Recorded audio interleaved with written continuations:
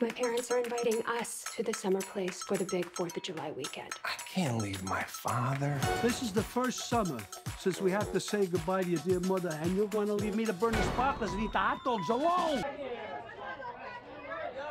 Pretty unbelievable. I mean, just looking over at my wife, my sister, who uh, flew all the way from Los Angeles, my mother. It's, it's great. I mean, I'm pinching myself. I can't believe I wrote a movie about my dad, and number one, Robert De Niro's playing my father, and we're all here to enjoy it. So it's pretty special.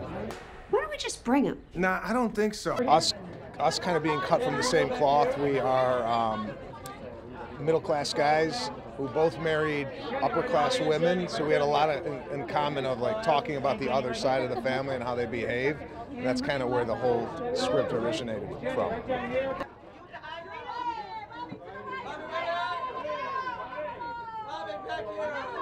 I, well, I Paul White is here somewhere, and, and, his brother sent me the script. And we talked, about it, and then we had a reading, and I met the director, Laura Terruso, who's a New Yorker from an Italian neighborhood. Everybody was everybody was um, very tightly entrenched in this world, and so there was a good foundation. It's great. You know, we made this movie in 2021. Wow, that long ago. And um, it, it, took a long time. It was a difficult film to make while COVID was raging in the South, in Mobile, Alabama. Um, so we kind of bonded together. So when I see Leslie or I see one of, or Sebastian or Bob occasionally, um, he's very busy and all over, as most of the actors are after that, before that and after that. But to see them again is just wonderful because we had that very special time together. It was such an easy yes. My agent called me and said, there's this film with Robert De Niro and he plays a hairdresser. And I said, I'm in. I don't care what it is. I want to, not only do I want to see it, I want to be in it. I play a senator from Virginia. Um, and she is, uh, she's got a very bad temper. She likes her own way.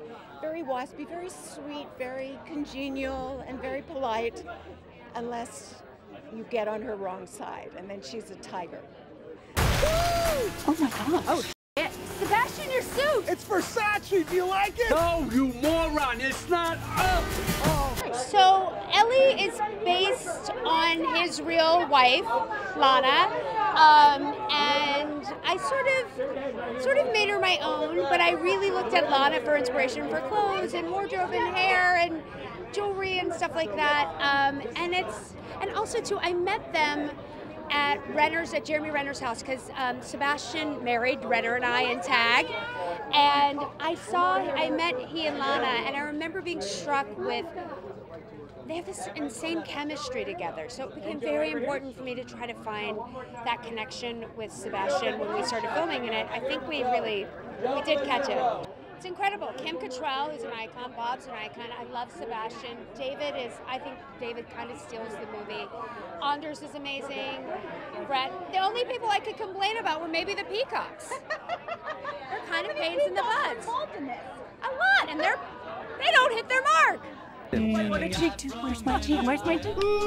Don't these people have jobs? They got their money in the stock market, not in mayonnaise jars buried in their backyard. Well, this is a pretty big deal for all of us. You know, it's been a wonderful uh, journey because we got this wonderful script, uh, you know, by Austen and by uh, Sebastian, and then Robert De Niro is like, I mean, the experience of a lifetime for all of us. You know, and he didn't uh, he didn't disappoint. You know, he's just he's just a miraculous actor, and uh, I'll never forget. I'll never forget it. Watching him, I, I, I just it's spellbinding. Yeah. So the movie is about Sebastian and his father, uh, first generation Italian American, and his son meeting this waspy kind of out of touch family.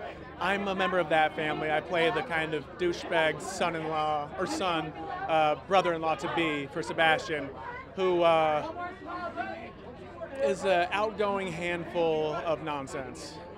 Everybody was amazing, you know, from the top to the bottom, to the left to the right. It was just a lot of fun, a lot of laughing, and uh, our director, Laura Terruso, wrangled all these cats in a way that just was uh, fun and free and uh, just a good time. We, we saw it as an all-out comedy. But what's surprising is how, how many people have told me how touched they are by it.